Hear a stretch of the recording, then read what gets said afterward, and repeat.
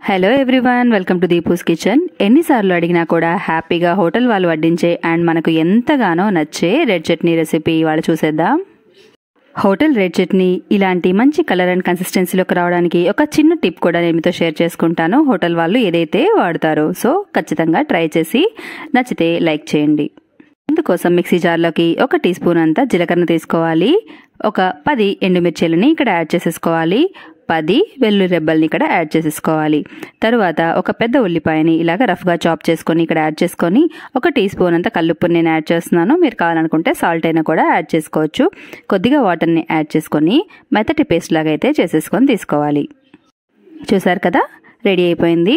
ఇప్పుడు స్టవ్ మీద బాణల్లోకి మూడు టేబుల్ స్పూన్లంతా ఆయిల్ని వేసుకోవాలి. ఇందులోకి ఒక టీ స్పూన్ అంతా ఆవాలు రెండు టీ స్పూన్లు మినప్పప్పు అలాగే ఒక టీ స్పూను జీలకర్రని యాడ్ చేసుకొని రెండు ఎండుమిర్చిల్ని తుంచుకొని ఇక్కడ యాడ్ చేసేసుకోవాలి.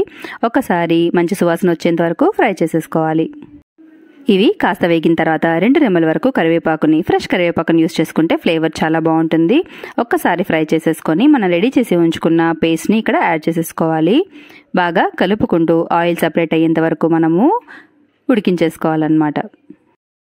ఇది ఉడికేలోపు మనము టమాటో ప్యూరీని రెడీ చేసేసుకోవాలి. మిక్సీ జార్లోకి రెండు పెద్ద పెద్ద టమాటోలని ముక్కలుగా కట్ చేసుకొని యాడ్ చేసేసుకొని వీటిని ప్యూరీ లాగా చేసేసుకొని తీసుకోవాలి. సో ఇలా రెడీ అయిపోయిన టమాటో ప్యూరీని ఆయిల్ సపరేట్ అయింది కదా ఇప్పుడు మనము ఇక్కడ యాడ్ చేసేసుకొని ఒకసారి బాగా మిక్స్ చేసేసుకోవాలి. మూత పెట్టి మరొకసారి పచ్చివాసన పోయేంత వరకు ఆయిల్ సపరేట్ అయ్యేంత వరకు ఐదు నిమిషాలు మీడియం ఫ్లేమ్లో కుక్ చేసుకోవాలి. ఇక్కడ రెండు కప్పుల వరకు వాటర్ని యాడ్ చేసుకోవచ్చు.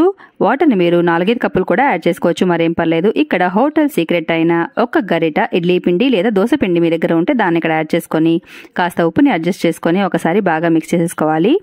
ఇలాగ పిండి యాడ్ చేయడం వల్లనే మనకి చట్నీ అనేది ఆ థిక్ కన్సిస్టెన్సీలోకి వస్తుంది. చాలా టేస్టీగా ఉంటుంది. ఇదే అనమాట వాళ్ళు యూస్ చేసే సీక్రెట్. ఇప్పుడు ఒక ఐదు నిమిషాలు కుక్ చేసిన తర్వాత కొత్తిమీర తరుగుని యాడ్ చేసుకొని ఈ కన్సిస్టెన్సీలోని మీరు కావాలనుకుంటే ఆపేసుకోవచ్చు. లేదంటే మరో రెండు నిమిషాలు కుక్ చేసుకొని మరింత థిక్గా చేసుకోవచ్చు. చూసారు కదా?